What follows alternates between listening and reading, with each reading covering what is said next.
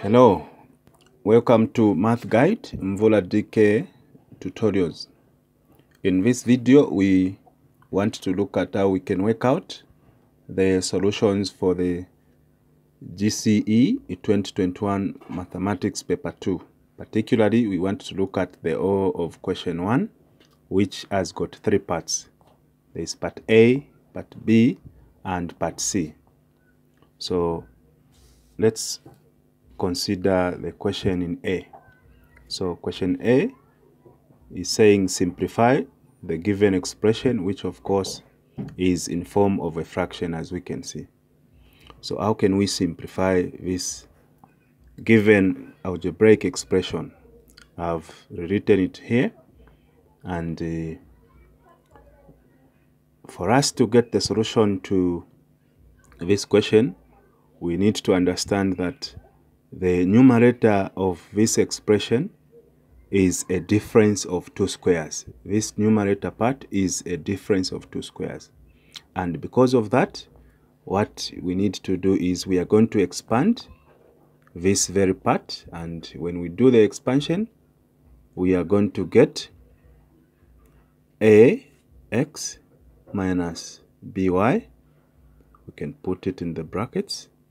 And ax plus by. That is just for the numerator part.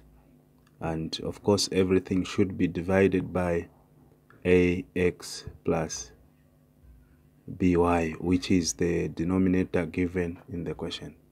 And when we try to compare what we have in the numerator and the denominator part, we can see that we have these two parts which are similar and because of that we need to divide. It means they can divide. So this part here and the bottom part which is the denominator can divide into each other and we are going to have a 1 up there and a 1 down here. So this is now going to give us ax which is this part minus by that is what we are going to remain with being divided by 1 which was left under the denominator. So when we divide 1 into the numerator we are going to get ax minus by and can we simplify any further? No we cannot. So there ends our simplification for part a of question 1 Okay. We need to look at the other part, which is part B. And in part B, part B, we have been given the geometric progression abbreviated as GP with elements 4, 2, 1, like that. And number 1 Roman numeral number one of part B is asking us to find the seventh term, okay? So how can we find the seventh term of the given geometric progression? So again, this is very simple.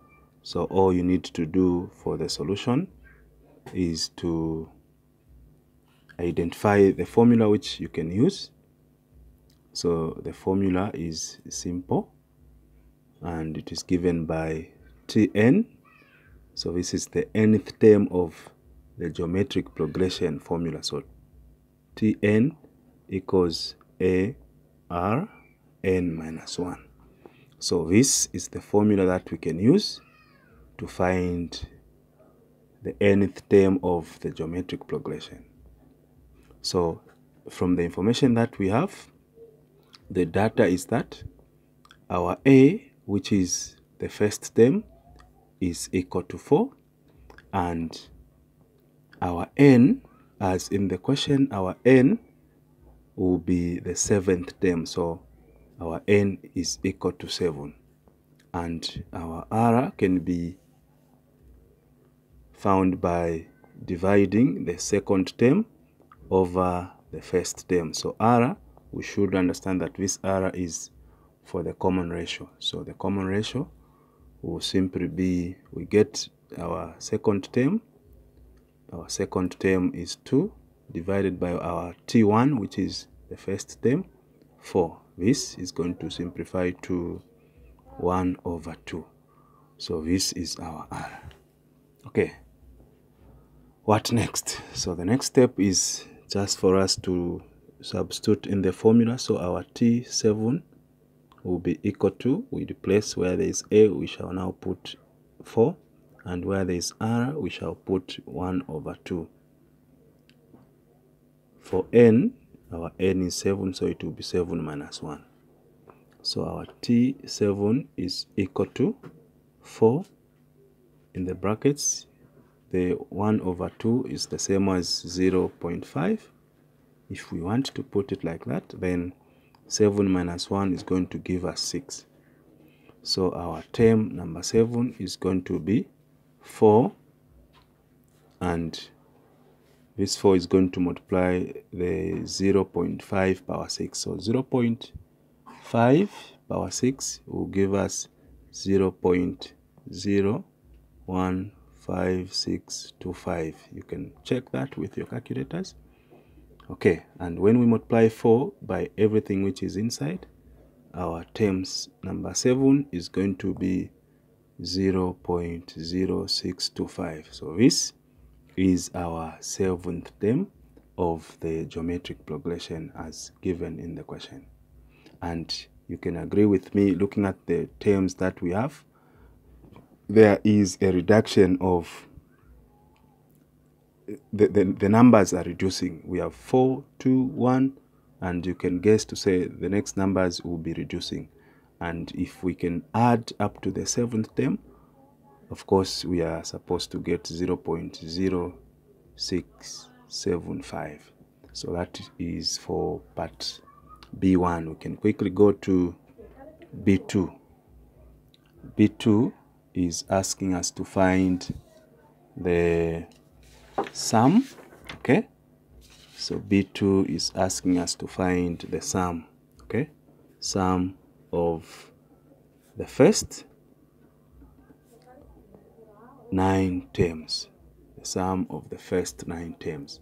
So how can we find the sum of the first nine terms? Okay again you do not have to worry yourself.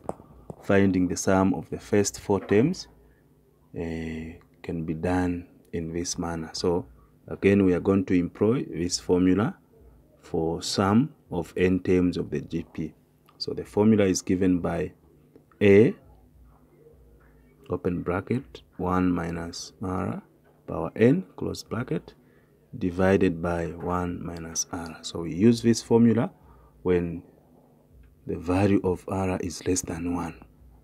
Alternatively, we can use this formula, which is as same as this one. Sum of n is equal to a, open brackets, r power n minus 1, close brackets, divided by r minus 1. And again, sorry, you were not able to see that formula. So this is the formula which I was just explaining. You can alternatively use this formula and this one is now more suitable when the value of r is greater than 1 so looking at what we have our r is simply 1 over 2 which is of course uh, less than 1 so in our case we shall use this formula here. So we know the value of a we know the value of r the value of n which is 9 in this case and our n is also sorry our our r is the same as in what we, we found in the first place.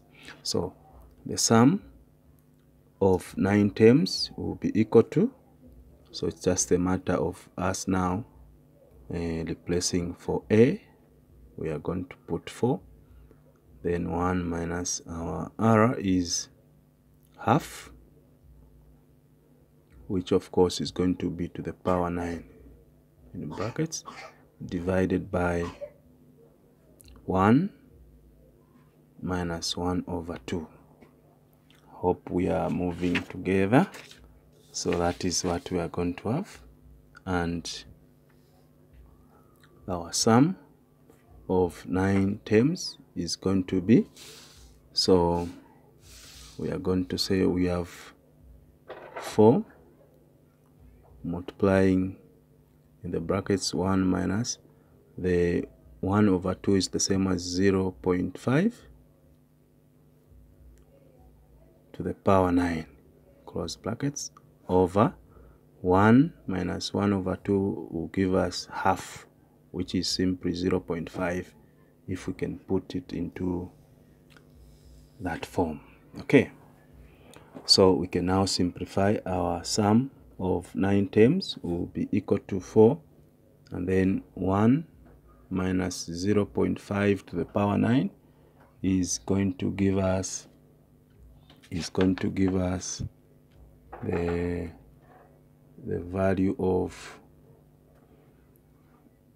okay so here we can do it directly we, we understand that when we subtract 1 sorry, from 1 we subtract 0 0.5 to the power 9 we multiply by 4 and then we divide by 0 0.5 uh, the sum of the first nine terms is going to be 0 sorry it's going to be 7.984375 you can confirm that with your calculators and of which we can put into this form. The sum of the first nine terms will be equal to 7.98 to two decimal places.